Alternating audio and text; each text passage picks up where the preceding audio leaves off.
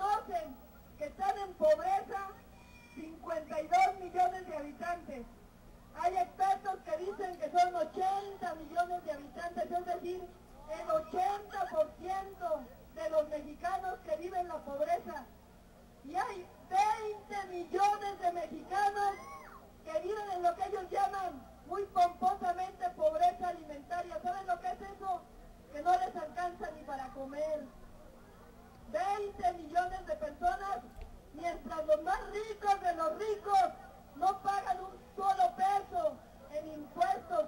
Por eso México es el de los países más desiguales del mundo, porque tenemos la pobreza de África, tenemos al hombre más rico del mundo manera de resolver eso es que los que están arriba paguen impuestos.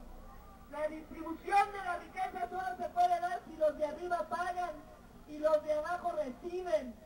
Nada más que el PLN, como es de los de arriba, pues nomás quiere seguir recibiendo y recibiendo y recibiendo y mientras eso pasa, pues de paso privatiza luz y fuerza del centro. Pero nos vamos a dejar. Además, compañeras, compañeros, aprovechando de esta cosa estúpida del fútbol para dar el sabadazo. Entonces, ¿qué? Ahora que acabe el mundial ya nos habrán privatizado todo el país, ¿verdad? Estamos dispuestos a vivir como idiotas